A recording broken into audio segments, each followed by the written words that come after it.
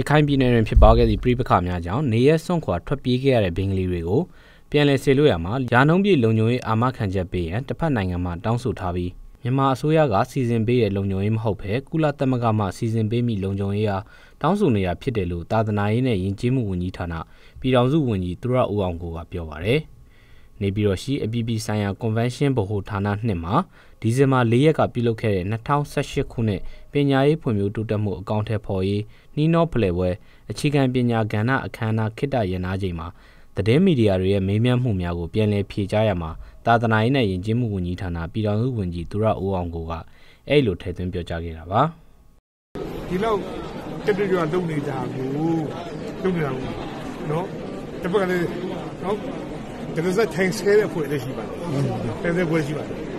ပြီးတော့ဒါလေးကိုနားလည်းမထောက်ပါဘူးသို့တော့တွေးနာတည်တည်ဘာလို့လဲဆိုတော့ဟောဒီကြုံတွေ့လာမဲ့အန်ဒရရဲ့တရခန်းရောက်နေပါနေမီတောင်းနေပါနိုင်ငံဒီပြန်မလို့နိုင်ဘူးပြန်လို့မဆိုရင်လည်းလုံညွေးအမကန်ကြီးရန်ကုန်လူပြရတယ်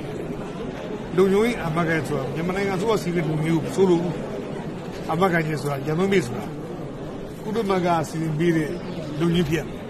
တယ်ဒီပြ ONC လူကြီးဖြစ်အဲ့ဒါကိုရခိုင်ပြည်နယ်ချထားရဆိုရင်ရခိုင်ပြည်နယ်နေပြည်တော်စပြီးတော့ဒဇာဇာနဲ့ဆုံးရှုံးတော့တော့ရှိပါတယ်နေပြည်စတောင်းနေတာတနည်းအားဖြင့် safe zone တောင်းနေတာအဲ့အဲ့ safe လို့ပြောတာပါအေးအေး safe တောင်းနေ safe zone ပြီးဘာလို့ဆို no fly zone တာဟုတ်တယ်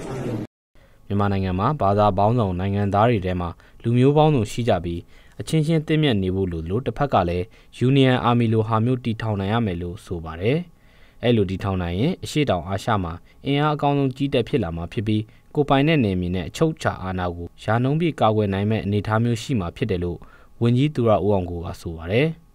ဒီလိုမဟုတ်ပဲအခုလိုရန်ဖြစ်နေမယ်တယောက်နဲ့တယောက်ချနေမယ်ဆိုရင်နွားကွဲရင်ကြားဆွဲရနေမဟုတ်ပဲခွေးအားတွေဝိုင်းဆွဲရခံရမယ့်ကိစ္စမျိုးဖြစ်သွားမယ်လို့ပြည်တော်စုဝန်ကြီးကဆက်လက်ပြောကြားခဲ့ပါတယ်။ရင်း report အား ပုတ်ရဟန်းမင်းကြီးထံတင်ပြခဲ့ပြီး၎င်းကရခိုင်ပြည်နယ်အတွင်းမှာဖြစ်ပွားခဲ့တဲ့အခြေအနေမှန်များကိုသိရှိကာပြိပခါကြောင့်ခံစားခဲ့ရတဲ့ဘာသာပေါင်းစုံလူမျိုးပေါင်းစုံတို့အတွက်ရေရှည်ကြံရမဲ့ထောက်ပံ့မှုများပေးရနိုင်ရန်အတွက်ငွေကြေးကူညီမှုများပေးရခဲ့ကြောင်းနဲ့ပုတ်ရဟန်းမင်းကြီးရဲ့အကြံပြုချက်အရနေပြည်တော်တွင် Religious for Peace မှာအောက်တိုဘာ21 22ရက်များမှာဖိုရမ်တစ်ခုကျင်းပခဲ့ပြီးရင်းဖိုရမ်သို့တက်ရောက်လာတဲ့နိုင်ငံပေါင်း10နိုင်ငံမှ ကိုယ်စားလှယ်များနဲ့ပြည်တွင်းကိုယ်စားလှယ်များကဆွေးနွေးချက်များအားယူဆောင်ကပုတ်ဟမ်းမီထံသို့တင်ပြသွားမှာဖြစ်တယ်လို့ပြည်ထောင်စုဝန်ကြီးသူရဦးအောင်ကိုကပြောကြားခဲ့ပါတယ်။